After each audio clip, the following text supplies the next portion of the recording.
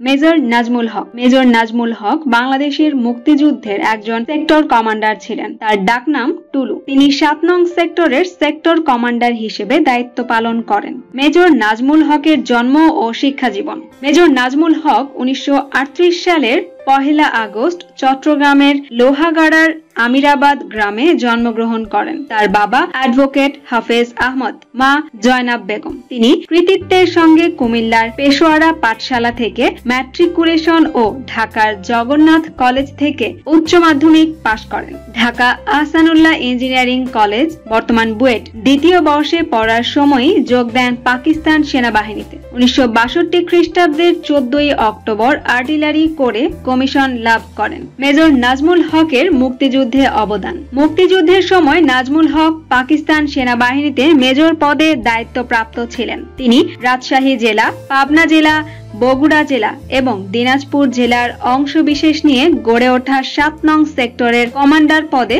উনিশশো এপ্রিল থেকে আগস্ট মাস পর্যন্ত দায়িত্ব পালন করেছেন। তরঙ্গপুর ছিল তার হেডকোয়ার্টার। তার সেক্টরে তিনি গেরিলা যুদ্ধ পরিচালনা করতেন এবং মুক্তি বাহিনীকে প্রশিক্ষণ দিতেন, যারা প্রথাগত সামরিক প্রশিক্ষণ প্রাপ্ত ছিল না। প্রায় পনেরো হাজার মুক্তিযোদ্ধা এ সেক্টরে যুদ্ধ করেছেন। বীরশ্রেষ্ঠ ক্যাপ্টেন মহিউদ্দিন জাহাঙ্গীর তার অধীনেই যুদ্ধ করেন।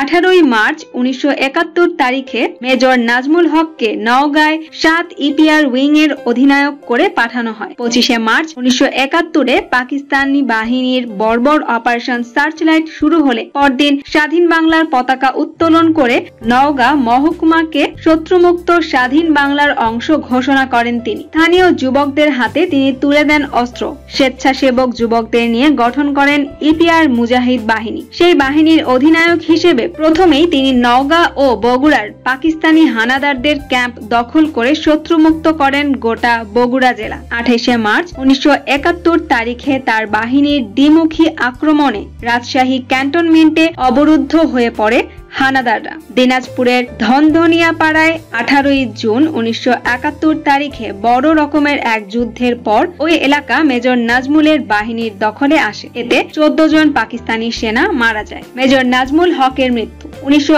সালের সাতাইশে সেপ্টেম্বর মেজর নাজমুল হক মিত্র বাহিনীর সঙ্গে উচ্চ পর্যায়ের বৈঠক শেষে ভারতের শিলিগুড়ি ক্যান্টনমেন্ট থেকে ফেরার পথে দুর্ঘটনায় প্রাণ হারান। চাপাই নবাবগঞ্জের শিবগঞ্জ থানার অন্যতম ঐতিহাসিক স্থাপনা ছোট সোনা মসজিদের প্রাঙ্গণে মেজর নাজমুল হকের সমাধি রয়েছে। তার মৃত্যুর পর মেজর কাজী নুরুজ্জামানকে সপ্তম সেক্টরের নতুন সেক্টর কমান্ডার হিসেবে নিয়োগ দেওয়া হয়। এই ছিল আজকের আয়োজন। কেমন লাগল আজকের পর্বটি? আশা করি কমেন্ট করে অবশ্যই জানাবেন। সেই সাথে বিশিষ্ট ও মহান ব্যক্তিদের জীবনী জানতে আমাদের চ্যানেলটি সাবস্ক্রাইব করে রাখুন। ভালো থাকুন সবাই। আসসালামু আলাইকুম।